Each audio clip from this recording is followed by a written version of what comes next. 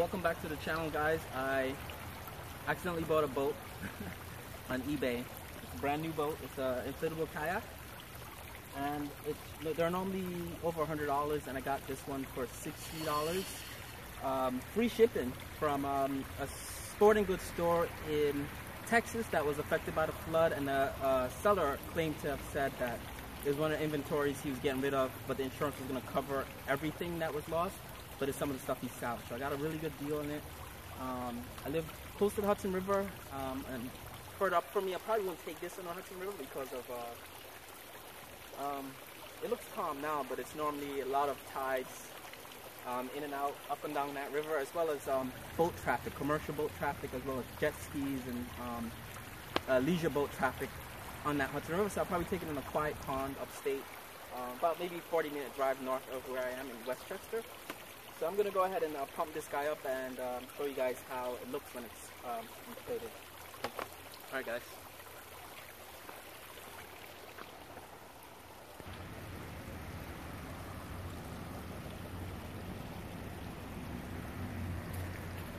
So guys, that's the boat. That's what it looks like. Um, it's an Intex inflatable boat. It comes with two sets of paddles as well as the um, pump. I thought it was an electric pump, but it's a pump pump. And it takes about maybe 10 minutes to inflate the entire thing. Um, inflates in five sections for the boat and the two seats um, inflate sort of separately. Um, it's a Boston pump. I mean, sorry, it has Boston valves. So every valve valve is like a one-way thing. So you just put air in and when it's time to take the air out, there's a second kind of secondary cap that you release and it just lets all the air out very fast as well. Um, in fact, putting taking air out of this thing is harder than putting air in because you have to uh, roll it and it fits into that little stuff sack on the side there. So you have to squeeze all the air out and it takes um, a bit of effort and strength, but overall it inflates real easy. Um, I have not taken it out in the river. The river is right over there behind us. Um, but I'm going to do a pond tomorrow. It's Saturday, so I'm going to do a Sunday Sunday thing in the pond my daughter, my wife. Um, I have to get life um, life uh, jackets first for us. But um, that's kind of how it looks and um, not much to say but I, I bought this completely by accident and it's pretty cool. Uh, I've always wanted one of these things. It's uh, a kayak. Let me show you guys the uh, paddle.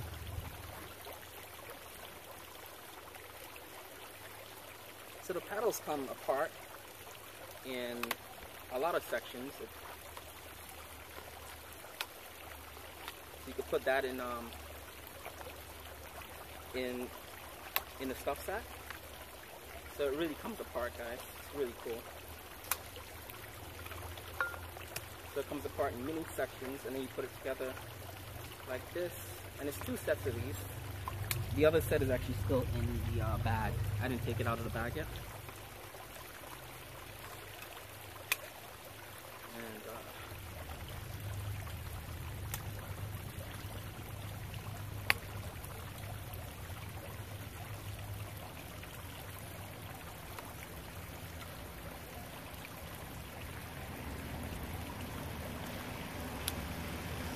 Now the paddles for this is kind of flimsy, but I'll see tomorrow when I take it out on a, in a pond how it looks, how it works. Um, but it's not too heavy, it's not too firm, and it does have some some play in it. You probably could see that there. Um, the pump is really lightweight. So as I was saying, the pump is really lightweight. Um, there's some info there on the pump. Uh, the brand I didn't even mention, it's an Intex uh, Explorer K2. And I just took the camera off the tripod just to bring it in closer for you guys to see. Um, the seats are inflatable, but I don't think I'm going to use these seats because uh, you see right there, it pulls when you sit in this thing. It kind of pulls in this thing, and I'm not sure how durable that is. It looks welted in there as well as stitched in. But I'd rather take uh, Crazy Creek chairs. I don't know if you guys remember those from the 90s and early 2000s. I'm not even sure they still sell or make them. But I have a, a set in the house. Three, actually. I bought three. Years ago, I still have them. So I'll probably um, put those in there instead of these inflatable things. As well as the back isn't... Um, it's basically just a, a blow-up thing. So, And when I inflated it before, I realized if you inflate the cushions, you sit kind of high up in the boat. But if you don't inflate the cushions, you kind of sit low in this thing, so it, it makes it a little bit better. Uh, you have some information here. I'll let you guys read it. You could also Google this stuff, and um, has all the uh, safety stuff there. Two persons or 330 pounds capacity, and that's two adults. And you could probably put um, on this two adults and my daughter's two, so and she's about 25 pounds or so. So I probably put her in the middle there, and um, my wife in the front, and uh, I'll sit in the back. So that's what I mean. But these things inflate. Uh, separate sides inflate. I'll show you guys how the Boston valve and this looks. You have one here and one on that side, so you have a total of two there. And the bed also inflates. But I think the bed is, um, it made it seem in the manual that this was optional to inflate. Um, these are mandatory because I think this is what keeps the um, kayak afloat. And the bed is probably just for comfort. Now, in one of these, there is a hole. And you gotta remember to, when you inflate it, to seal that off. It has a little cap.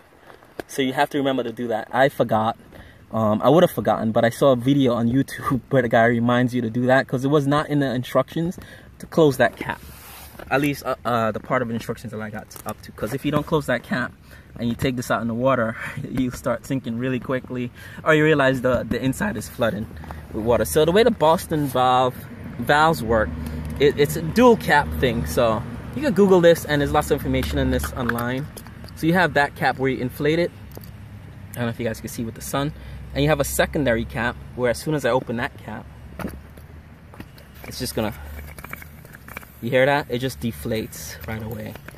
Now, the inflation recommendation, and it's not really mentioned in other videos, is that you definitely do not want to overinflate this on a hot day because hot, hot air, hot weather kind of um, adds, expands the air inside the uh, rubber inside the um, kayak.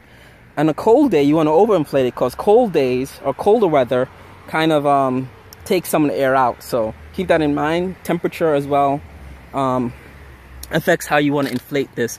There is a measurement there. It comes with a little plastic tape that you could put there. Oh, got the cam camera the opposite way. Where you could put that there to uh, measure how how much you have um, inflated, which is kind of really cool. Some more writing on the inside, but this is it, guys. This is the K2 Explorer and I'm gonna close that there. I'm gonna inflate this in a, in a minute. And like I said, in de-inflating this, taking air out is harder than putting air in.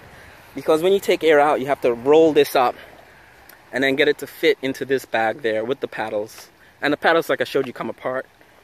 But um, it's a little registration number. That's kind of cool. Or VIN number for the, for the boat. So that's it, guys. This is the Intex Explorer. K2.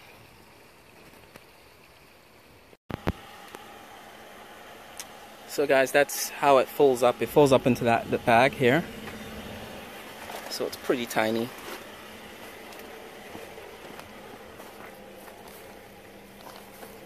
Show you guys how it looks. It's super tiny. It fits right into the car.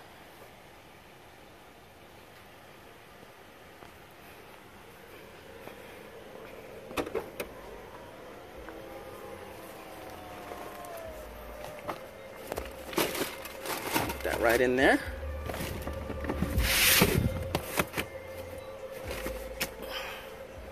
And that's it, guys. That's the um, Intex Explorer K2 kayak. It fits right into SUV. I have a BMW 3 Series, so it would fit into uh, the trunk of a small sedan. Um, and you have a big kayak. That's the beauty of these inflatables. You don't need a roof, roof rack or a thing in your trunk to carry a kayak. So it's pretty cool. You could buy two of these and probably fit two or three or four back here. So it's kind of cool.